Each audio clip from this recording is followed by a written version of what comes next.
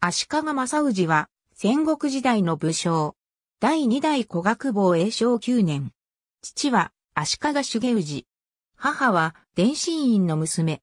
延徳元年、父、重氏から家督を譲られ、古学坊を継承する。父と同様に八代将軍、足利義政より返記を受け、正氏と名乗る。調教の乱においては、当初、大木谷上杉家を支持したが、上杉貞政の死去により、大木谷上杉家が弱体化すると、山内上杉家支持に転換した。明王5年の武蔵柏原合戦では、山内上杉焼貞と共に、大木谷上杉智義と戦う。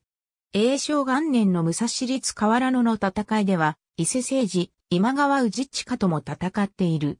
永正2年の両上杉氏和解後は、弟の剣実を上杉秋貞の養子に入れた。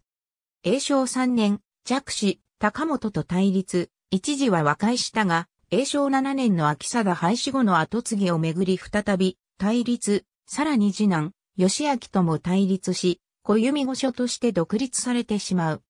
柳田氏や宇都宮氏に支持された高本との争いに、敗れ小賀城を失い、小山氏のもとに落ち延びる。高本と不利な形で和睦することを余儀なくされ、久保の位を譲り、出家して道長とこうした。その後小山氏の庇護も受けられなくなり上杉智義を頼って武蔵久喜の館に引退した。正氏はこの館に永安山関東院を解散。永正17年には小賀城を訪れ、高本と面会している。協力4年、久喜で没した。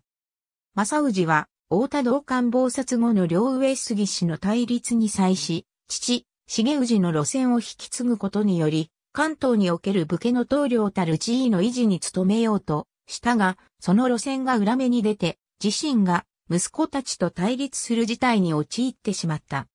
その間に、後に、古学坊家を没落させることになる古北条氏が、関東に着々と進出してくるのである。